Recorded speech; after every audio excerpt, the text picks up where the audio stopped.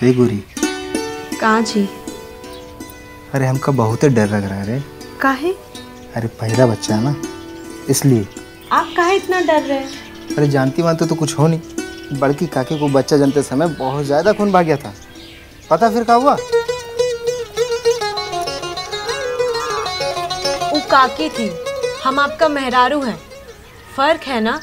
का मतलब? रुकिए। ई आयरन का गोली। गर्भ के चौथे महीने से ही हम इसको रोज खाते हैं। इससे बनती है हमारे शरीर में खून।